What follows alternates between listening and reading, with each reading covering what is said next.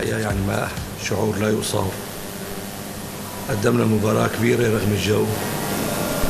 أنا هذا قلت إن شاء الله بنفوز وفزنا وتحققت. أمنيات السوريين عن هذا الفوز مو إلي عن هذا الفوز لكل السوريين.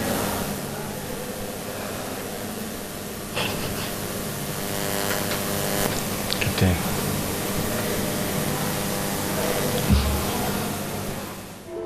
وهذا الفوز مهب إلك ولا إلى سوريا بل للعرب أجمع. مبروك لسوريا.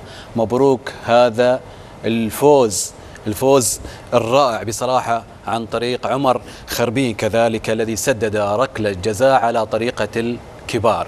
يلعب للكبار في نادي الهلال ويلعب للمنتخب السوري فيركل الركلة ركلة الكبار ويدخلها في المرمى ويحقق فوز سوري كان في الانتظار ويرد الثأر كذلك لهم بعد أن تغلب المنتخب الأوزبكي سابقا.